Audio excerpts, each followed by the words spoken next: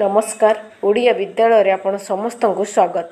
Litre ପିଛା ଅଶୀ ଟଙ୍କାରେ ପେଟ୍ରୋଲ ବିକିଲା ଭୁବନେଶ୍ୱର ଜିଲ୍ଲା କଂଗ୍ରେସ। ଭୁବନେଶ୍ୱରରେ ଆଜି ପେଟ୍ରୋଲ ଓ ଡିଜେଲ ରନ୍ଧନ ଗ୍ୟାସର ଅହେତୁକ ଦର ବୃଦ୍ଧି ପ୍ରତିବାଦରେ ଭୁବନେଶ୍ୱର ଜିଲ୍ଲା କଂଗ୍ରେସ ଅଭିନବ ଉପାୟରେ ଅଶୀ ଟଙ୍କା ପ୍ରତି ଲିଟର ଦରରେ ଜନସାଧାରଣଙ୍କୁ ପେଟ୍ରୋଲ ବିକ୍ରି କରିଛି। ଭୁବନେଶ୍ୱର ଜିଲ୍ଲା କଂଗ୍ରେସ ସଭାପତି ଶ୍ରୀ ବିଶ୍ୱଜିତ ଦାସଙ୍କ ନେତୃତ୍ୱରେ ୟୁନିଟ୍ ଟୁ ମାର୍କେଟ ବିଲ୍ଡିଂ କହିପାରିବା ପେଟ୍ରୋଲ ପମ୍ପ ସାମ୍ନାରେ ଆଜି ଜିଲ୍ଲାର କର୍ମକର୍ତ୍ତାମାନେ ହଜାର ଲିଟର ପେଟ୍ରୋଲ ଅଶୀ ଟଙ୍କା ପ୍ରତି ଲିଟର ହିସାବରେ ସାଧାରଣ ଜନତାକୁ ଯୋଗାଇ ଦେଇଛନ୍ତି।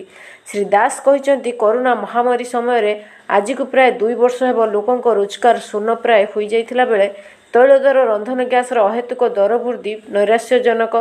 ଆଗକୁ କେନ୍ଦ୍ର ଓ ରାଜ୍ୟ ସରକାର ନ ଚେତିଲେ ଭୁବନେଶ୍ୱର ଜିଲ୍ଲା କଂଗ୍ରେସ ପୁନର୍ବାର ରାଜରାସ୍ତାକୁ ଓହ୍ଲାଇବ। ସେହିପରି କାର୍ଯ୍ୟକ୍ରମରେ କଟକ ଜିଲ୍ଲା ସଭାପତି ଶ୍ରୀ ମାନସ ଚୌଧୁରୀ ଯୋଗଦେଇ କହିଥିଲେ ଯେ ୟୁପିଏ ସରକାର ସମୟରେ ଅଶୋଧିତ ତୈଳ ଦର ବର୍ତ୍ତମାନ ଅଶୋଧିତ ତୈଳ ଦରର ଦୁଇ ଗୁଣ ଥିଲାବେଳେ କଂଗ୍ରେସ ସରକାର ଷାଠିଏ ଟଙ୍କାର ପେଟ୍ରୋଲ ଯୋଗାଉଥିଲା ବେଳେ ଏବେ ଆନ୍ତର୍ଜାତୀୟ ବଜାରରେ ଅଶୋଧିତ ତୈଳ ଦର କମ୍ ଥିବାବେଳେ କେନ୍ଦ୍ର ସରକାର ଓ ରାଜ୍ୟ ସରକାରଙ୍କ ଟ୍ୟାକ୍ସ ଯୋଗୁଁ ଆଜି ତୈଳ ଦର ଶହେ ଟଙ୍କା ଟପିଲାଣି।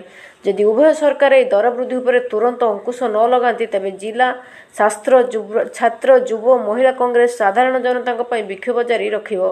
ଏହି କାର୍ଯ୍ୟକ୍ରମକୁ ଜିଲ୍ଲା ଉପସଭାପତି ଶ୍ରୀ ସୁବ୍ରତ ମହାପାତ୍ରଙ୍କ ପରିଚାଳନା କରିଥିଲେ। ଅନ୍ୟମାନଙ୍କ ମଧ୍ୟରେ ଏସ୍ କେ ଆଫତାବ ଅଲି ମନୋରଞ୍ଜନ ଜେନା ଅଶୋକ ଦାସ ମିହିର ଆଚାର୍ଯ୍ୟ ଶ୍ରୀଧର ବଳିଆର ସିଂ ଦେବରାଜ ମିଶ୍ର ଇନ୍ଦ୍ରଜିତ ପରିଡ଼ା ଜୟକୃଷ୍ଣ ସୁବୋଧି ପ୍ରସନ୍ନ ନାୟକ ଆଦି ଉପସ୍ଥିତ ଥିଲେ।